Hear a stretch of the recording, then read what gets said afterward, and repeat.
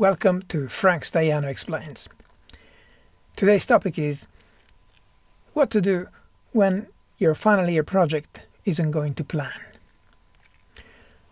Well, the final year undergraduate project and its associated dissertation is a very important and very formative part of your undergraduate university education.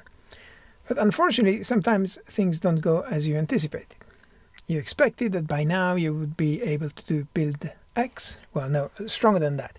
You promised that by the end of the project you would deliver X, but you've had some hiccups along the way and you realize it's not going to happen. Well, what do you do then? You promised, but you won't deliver. Panic. Is your project going to be a failure? Well, it doesn't have to be. Hit that like button because I'm going to show you how you can turn things around you may learn something useful from the failures and you may even be rewarded by the examiners if you manage to convey that the failure taught you something useful that made you a better computer scientist.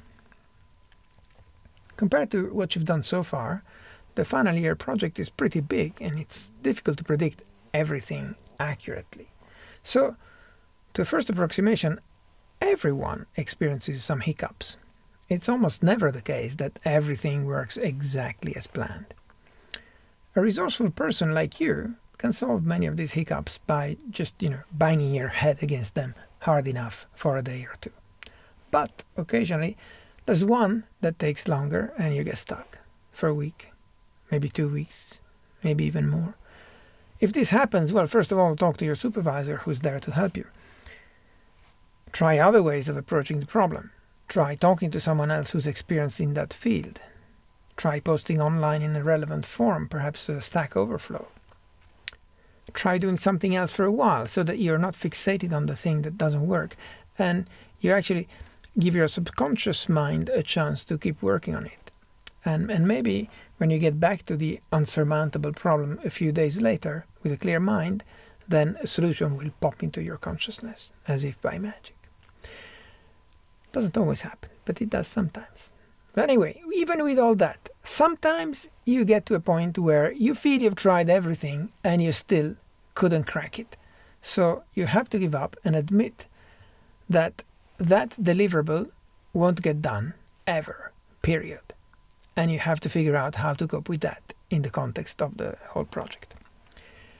Well, of course, again, first of all, talk with your supervisor an experienced project supervisor is your best resource here, and she may be able to help you rearrange the work so that even if you couldn't deliver this thing X you promised, you are maybe instead delivering this other thing Y, which is equally valuable I mean, under some other criterion. But there's another point I want to bring to your attention.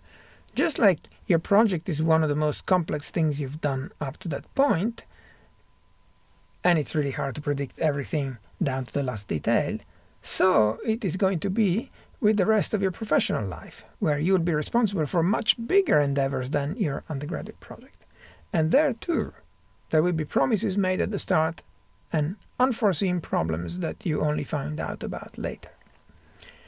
And the message here is that this will always happen, that this is a fact of life, that things don't always go to plan, and that you have to become resilient against that and that you have to grow the ability to deal with such problems and still deliver something that your client, which as an undergraduate is your examiner, finds still reasonably valuable. Life is basically fractal, I like to say. And a small piece of your life, like the eight to nine months that you spend on your undergraduate project, contains within itself a miniature version of all the rest of your life. So treat your undergraduate project like a, I don't know, like a gymnasium where you train to cope with all the hiccups you will experience during your professional life. They, there will be hiccups of a different type, of course, but the resourcefulness you develop by overcoming adversities can then be recycled when you face adversities uh, of different kinds. Now, this is all very well, uh, you're going to think, but Now my problem is that my project doesn't do what I said it would do, and I'm stuck and I'm in a panic because I have basically failed and I'm going to get a low mark and I won't be able to continue to graduate studies and everything is terrible. And why am I wasting time on YouTube looking at this video if I'm in this deep doo doo? Okay, so I get it. well, try to abstract away from the issue of the marks and see if there's anything useful you have gained from this experience, albeit in a painful way. For example, you did a computer project that involved not just writing code but also building a piece of hardware, interfacing with the physical world. And then you discovered that physical artifacts behave differently, that even if you're putting together digital circuits, the world is actually analog, and sometimes all those neat abstractions break down. And the reason something doesn't work as expected is because under those neat zeros and ones, there are actually analog voltages. And that if the circuits don't receive enough power, then those analog voltages are a bit too close to the threshold to be called correctly a zero or a one.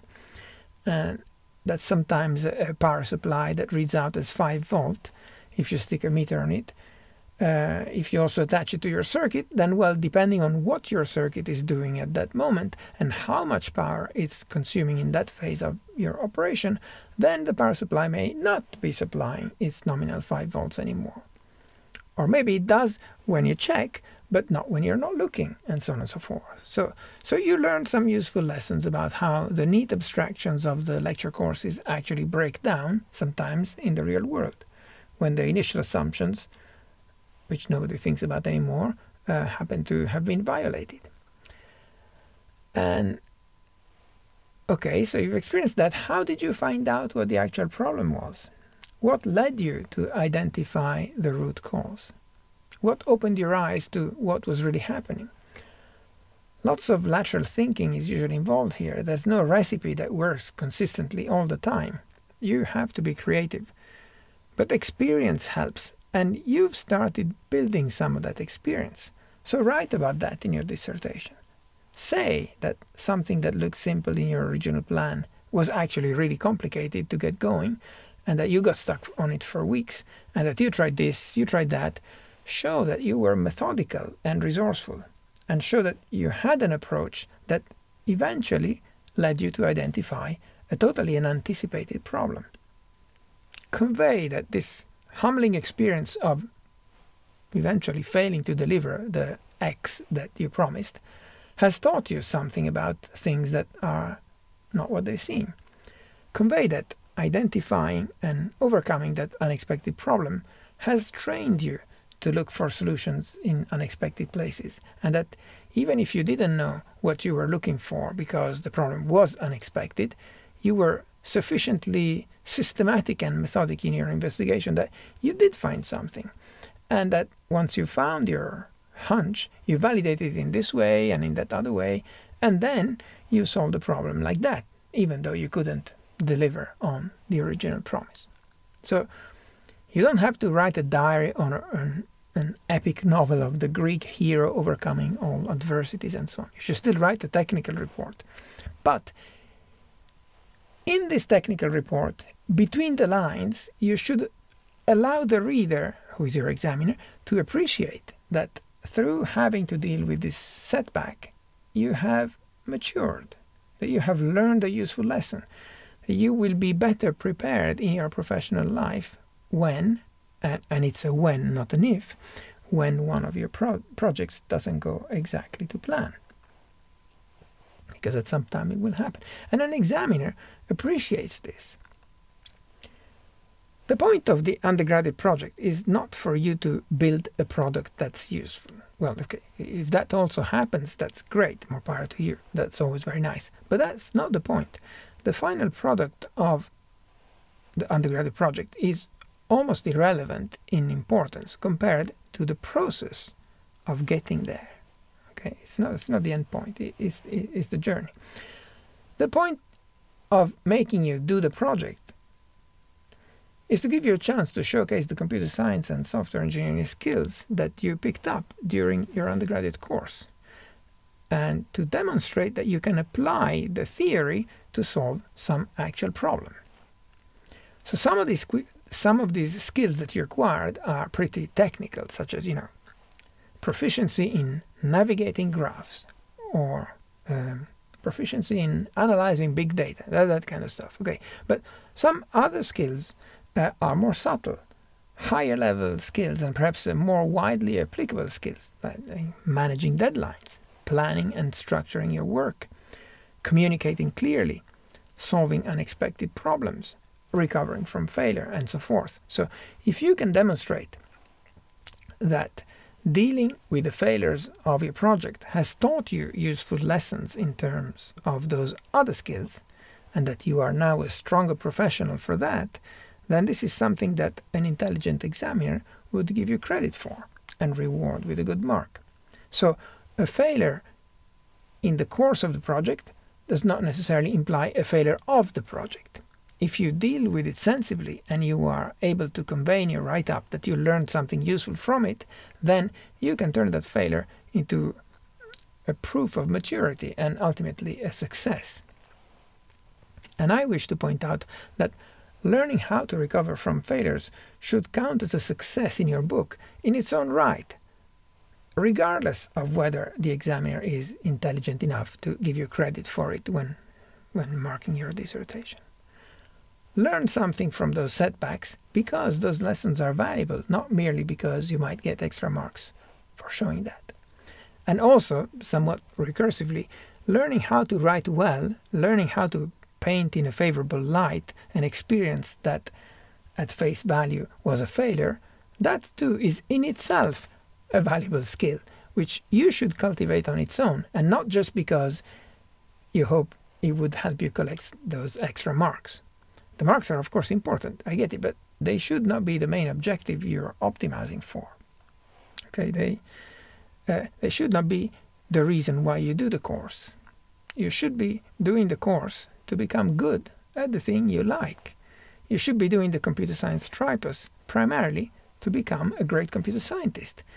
Getting credit for it is always nice, of course, and you deserve that credit. But in the hierarchy of values, it should come below in importance compared to what you learn and who you become.